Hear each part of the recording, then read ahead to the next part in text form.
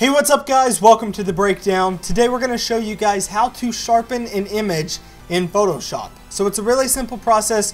What I recommend doing is making a duplicate layer of your image. First of all, uh, which you would do by clicking on the layer and hitting Command J on your keyboard. I've already done that, so I'm not going to do it again. But then what you need to do is right click and convert this to a smart object, which you can do by right clicking and hit convert to smart object. The next thing you need to do is go up to filter and then go to sharpen.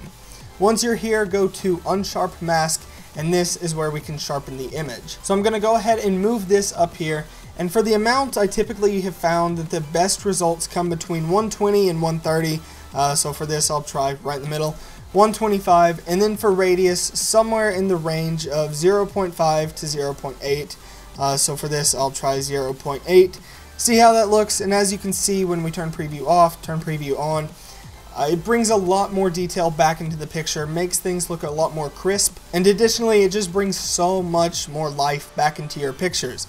Now I do want to mention that if you make the amount too high it's going to make the image look a little too overwhelming on your eyes uh, and if you also do too little it's going to look a little blurry depending on how low you go. Uh, so I'm just going to set this to 120 uh, and for radius, this is essentially how crisp you want these pixels to be.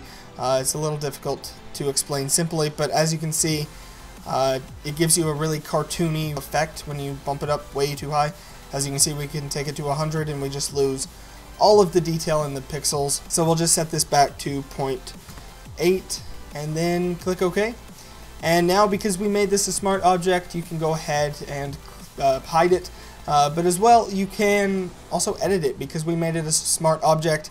Uh, we didn't do anything that's going to destroy the layer. Anyway guys, that is how you sharpen an image in Photoshop. There are more complex and more complicated ways to do it, but this is a way that I found that yields really good results and makes the image look really good and crisp and full of detail. Nevertheless, guys, thanks for watching. If you enjoyed this video, go ahead and comment down below with more Photoshop tutorials that you would like to see on the channel.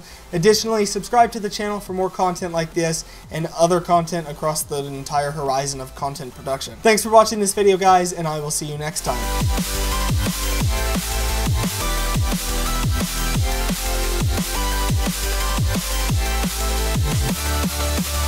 back.